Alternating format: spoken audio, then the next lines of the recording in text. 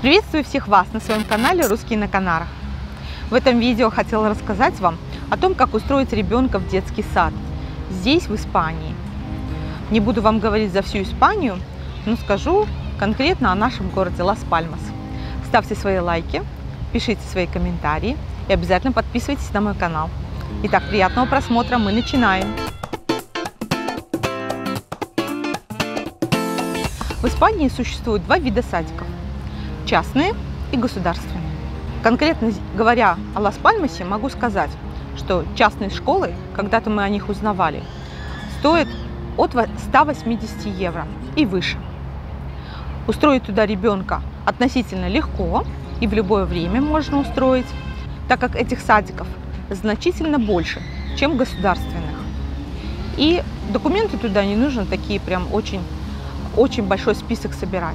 Дети в Испании садик могут пойти с 4 месяцев, так как мамы не могут получать отпуск по уходу за ребенком дальше 4 месяцев от рождения ребенка. Поэтому им приходится, если нету родителей, кто может помочь или нянь, то приходится маленьких детей отдавать в садик. И в садик ходит здесь до трех лет. После трех лет начинается школа, инфантиль. Нашей дочке два года. И я вам расскажу о том, как мы устраивали ее в садик здесь, в Лас-Пальмасе. Как я уже говорила, в частный садик легче устроить. Конечно, если оба родителя работают или хорошая зарплата, то это совсем не сложно. Ну, а если в такой ситуации, как у нас, когда работает только один из родителей, то приходится рассчитывать только на государственные садики. Списки садиков, а, которые существуют в городе, можно узнать на сайте Аюнтаменто. А мы заглянули в этот список, узнали, посмотрели ближайший садик к нашему дому и посмотрели, с какого времени можно сдавать документы. Всегда по-разному, каждый год нужно обращать внимание на это.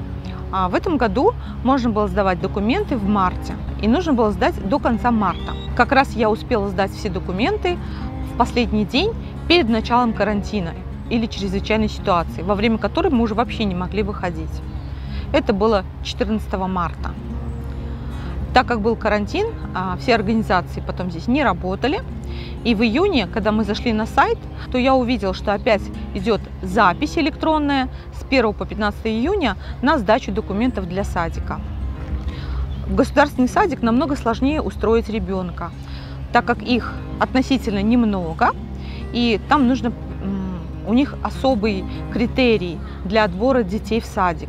И довольно-таки нужно много сдавать документов туда. После 15 июня мы ожидали, когда выйдет список детей, которые попали в садик. И в конце июня а, этот список вышел. И наша, наша дочь была в этом списке, но с оговоркой, что мы должны принести два документа. Налоговую декларацию о доходах за 2018 год. Моя и моего мужа. И у нас было всего лишь несколько дней, чтобы этот документ а, найти и отнести в садик. Это было нелегко, так как сейчас в связи с этим карантином, со всей ситуацией с коронавирусом, все организации закрыты, нужно брать электронные очереди, а, электронную подпись. Но слава богу, что мы все это смогли сделать и сдали документы. И в конце июля вышел окончательный список детей для садика, и наша дочь попала туда. И вот теперь с сентября месяца она пойдет в государственный садик. Чем хороши государственные садики, что для тех э, родителей, у кого, может быть, экономическая ситуация не очень хорошая, сдаются документы определенные, которые это подтверждают, то эти садики, они практически бесплатные. График работы этого садика тоже очень удобный.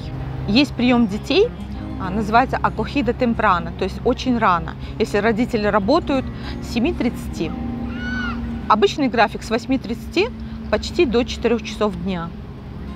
Дети там кушают, спят.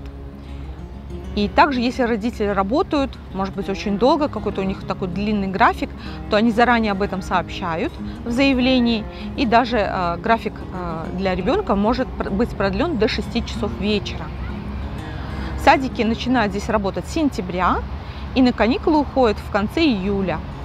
Август месяц – это каникулы. Так что мы очень рады, что у нас получилось оформить нашу дочку в садик – она теперь до трех лет, как раз в течение этого года, будет ходить в садик.